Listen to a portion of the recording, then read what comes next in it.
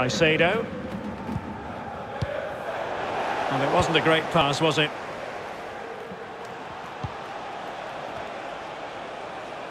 Not an especially strong... Oh, he's through here! A goal! That's two for him today! They simply can't stop him! No wonder he's celebrating! Well, here's the replay. It's a very neat piece of deception to get past the defender. And then it's a good-headed finish, to be fair. Keeper no chance. Lovely goal. A chance to revisit the goal.